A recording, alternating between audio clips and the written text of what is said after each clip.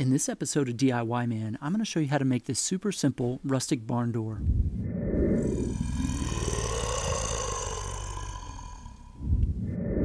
The first step in building a door like this is to take a quick measurement of where we're going to put it.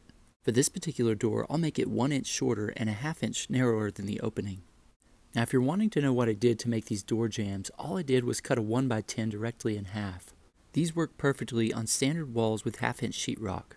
Then to trim it out, I just use 1x4s.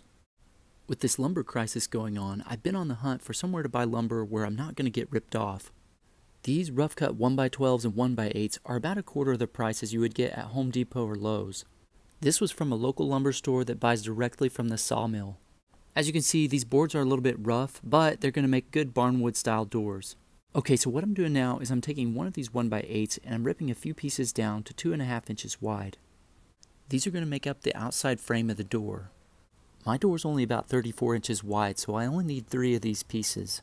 If your door is much wider than that, you might find that you need four of these.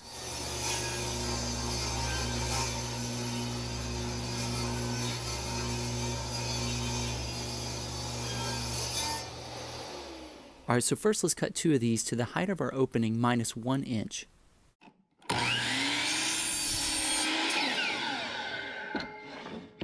To get our width, let's take the width of our opening, subtract the width of two of these boards, and a half an inch. We're going to be cutting out three of these pieces.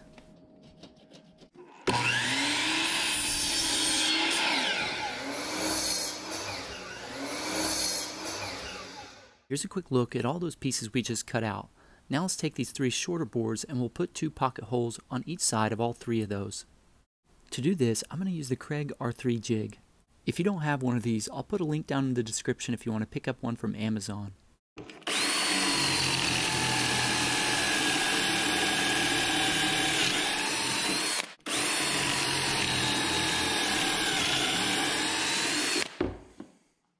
We're going to be using one and a quarter inch pocket screws in these holes here in just a minute. Alright, let me slide this miter saw out of the way to put this door together. If you like the way this workbench operates, be sure to check out the video on how I built it. Let's start putting this door together. First, I'll make a mark right in the center of these two long boards. Then I'll make a mark in the center of these edges on one of these short ones. Let's start with the top of this door. I'm going to use wood glue and pocket screws to attach one of these smaller boards flush with the left and right sides of those longer pieces.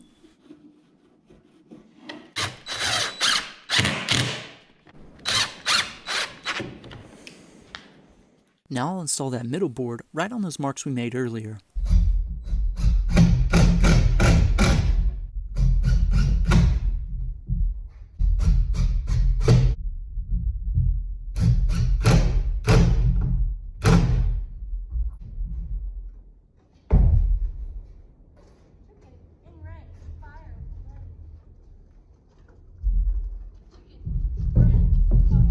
As you probably guessed, the bottom goes together the same way as the top. Now for the next part, I'm going to rip some 1x12s directly in half.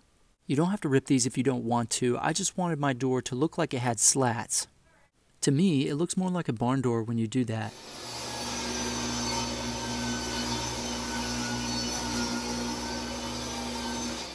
Now that I've ripped all these boards in half, I'm going to cut all these to the length of my door.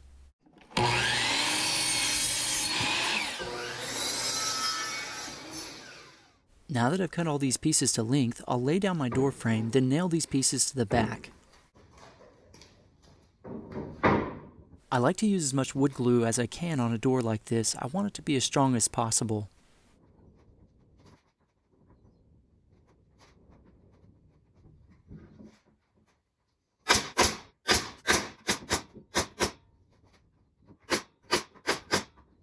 Also, I recommend taking your time and making this first piece as straight as you can get it.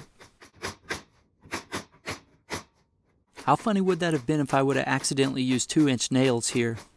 Okay, let's go ahead and attach the rest of these boards. I am putting a layer of wood glue in between these. Also, if you find that your boards aren't perfectly straight, that's okay. I use clamps to close the gaps before I nail these to the frame. Now, I'm not going to spend a lot of time and get rid of all the gaps. I want this door to be a little bit rustic. I probably wouldn't have split these boards in half if I was concerned about that.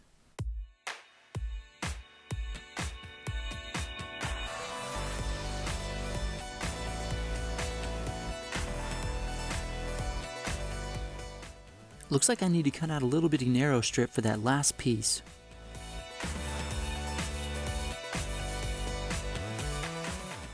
Okay, let's cut out a couple of these two and a half inch pieces to go in between the top and bottom frame.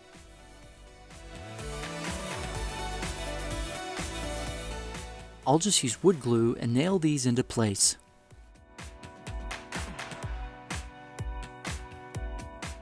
I don't want to sand this too much, I don't want to get rid of the barnwood look. I'll just use a hand planer on the back side of this door. Now you don't have to have one of these, but it saves a lot of time. Our door is looking pretty swell. Let's put a coat of stain on this thing. I'll use special walnut from Minwax for this project. I'll hang my door using three 4-inch T-hinges. I don't know if it needs it, but I'm using some really long screws that can go all the way into the studs.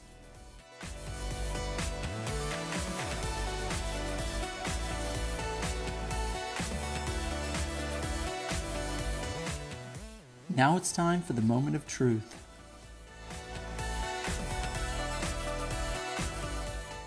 Be careful on the length of the screws that you're using for the back of the door. You don't want those to poke through on the other side.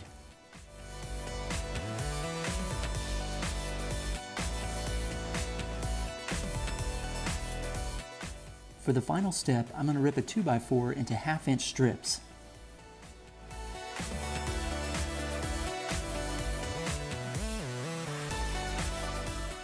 I'll cut these down so I have one the width of the door and two to the height of the door. Next, I'll stain these the same color as my door jamb. Now, I'll attach these with my nail gun so my door only swings to the inside.